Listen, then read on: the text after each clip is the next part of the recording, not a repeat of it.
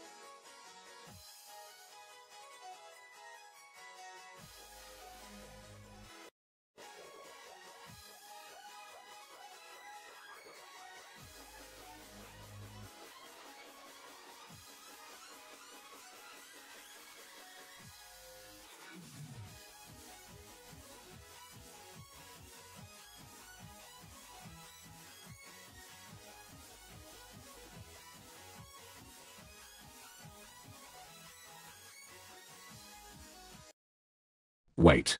Imagine if this worked on Android without any code changes. Imagine any developer being able to make this thing without hacking knowledge. Imagine an easy way to report bugs to its developer, receive fast updates, discuss with others about this thing. Sounds awesome? Well it is awesome, and that's what I'm working on. It's called HyperDash. It will most probably get released within a year, but maybe a bit later. Stay tuned, its Discord server, where I will post sneak peeks, is linked in the description.